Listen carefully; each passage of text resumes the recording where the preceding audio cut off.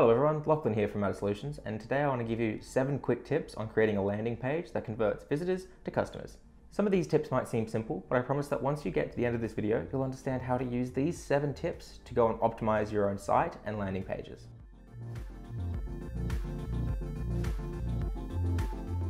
So here's the first tip, and one of the most important ones.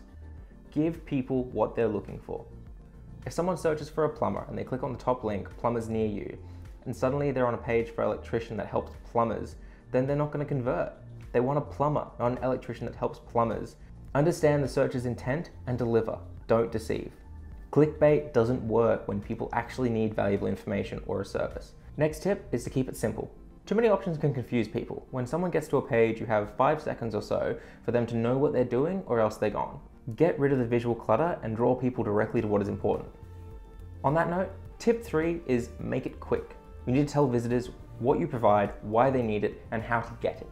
Dropbox has a good example of a landing page that is simple and fast. You can see on this screenshot there very clear buttons. Try Dropbox business free, no credit card needed. They have nice big letters. The value proposition is right there as well.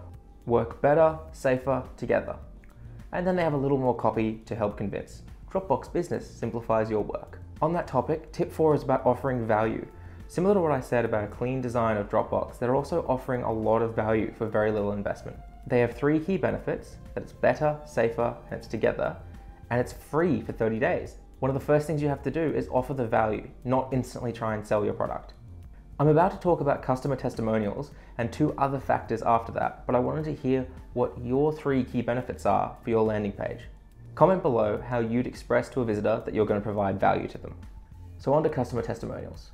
Dropbox also has customer testimonials. They're not front and center, but further down the page. For a company their size, they have quite big brands obviously using Dropbox, like National Geographic and News Corp.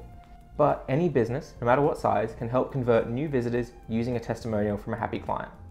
If it's a written testimonial, make sure you add a little portrait to add a human face to the message. That way it doesn't seem fake. Or, if you have the ability, then maybe combine this tip about customer testimonials with our next tip, video. A client success story or testimonial in video form is a huge help to converting visitors. The client talks about their problems, how you solved it, and at the end, there's a little call to action hidden in the idea of a testimonial. If you don't have a client testimonial, then you can create what's called an anchor video. It's a little 30 to 90 second video that perfectly encapsulates your business. No matter which type you choose, you'll need a hook at the start to keep your audience watching, set up a problem, set up a solution, and then push the viewer to get in touch. Tip number seven, make it emotion driven. It's been proven time and time again that people make the majority of their decisions as a consumer based off of their emotional responses. In a world where people are scared about privacy, Dropbox didn't explain their encrypted servers intensely in detail, but simply said, better, safer, together.